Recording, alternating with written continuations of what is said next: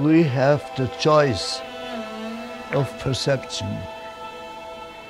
We can perceive negatively things around us, or we can perceive them positively.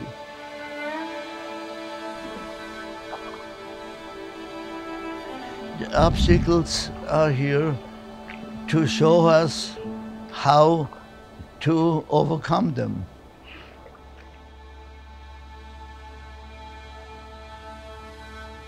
You're better off because the problem came.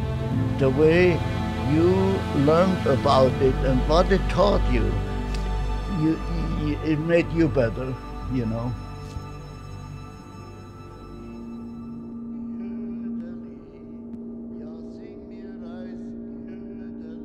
Sometimes politicians get we get the wrong characters, and we certainly did in Germany.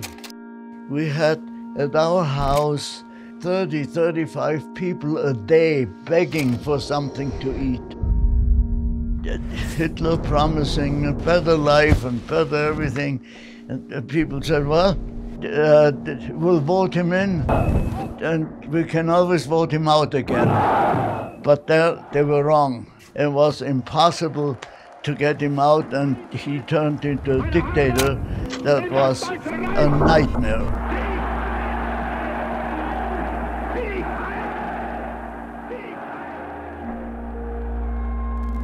And I tried to get into Switzerland.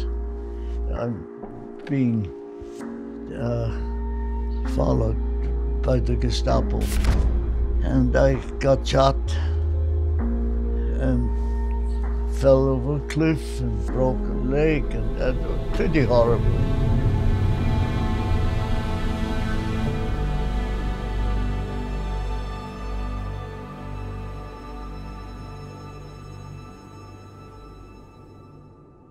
Ten, dollars, 10 US dollars. That's, that's all I had. Um, also because I thought to take money to America is like taking water to a fountain. you know? anyhow, uh, and there was a rough trip from Germany to New York.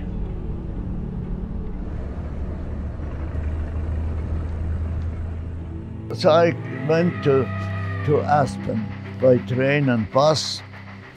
Uh, when I got there, it was the beginning of uh, the ski industry. It started to make so many things. The first thing we needed was a suntan lotion because people got sunburned. So that was one of the things that made some money to make some other things, to make sweaters, to make jackets.